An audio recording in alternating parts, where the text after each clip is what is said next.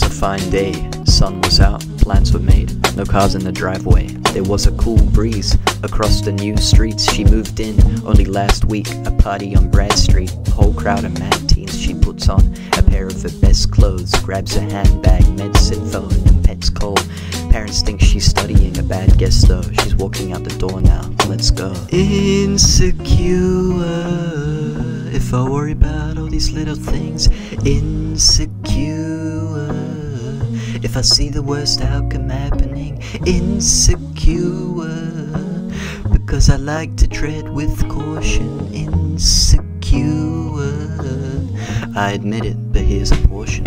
She pulls up at the party, walking up the drive. Only girl she knows is of the popular type. She walks inside, crowds of people cloud a view. Drinks of all kinds being passed around the room. By the speaker is Marcy, the host for the party. She hopes to ease in, couple games begin starting. She was good at beer pong, it didn't take years long to attract the guy who'd been waiting a year long. Soon enough, whole room began tagging along, cheering for her to drink as Brad had it won.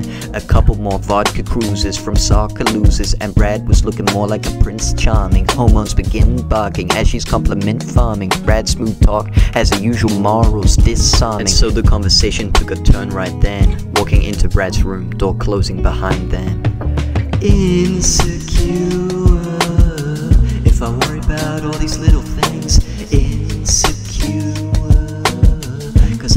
Worst outcome happening, insecure.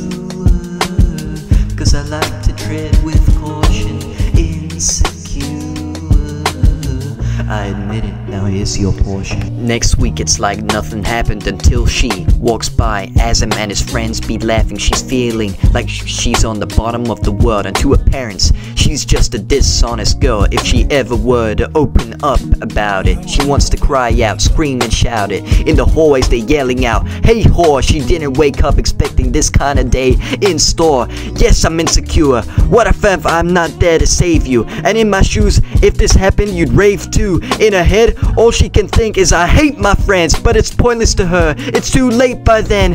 Insults in the classroom, graffiti in the bathroom, even the crooked teachers on break in the staff room. Her throat's closing up so tight she feels like dying. One moment of misjudgment on the inside crying. I'd rather die than watch her cry explaining it. I'm sorry this ever happened, baby. It makes me sick. If this ever happens to my daughter, it's my fault. So I'll be fucking insecure till I die old.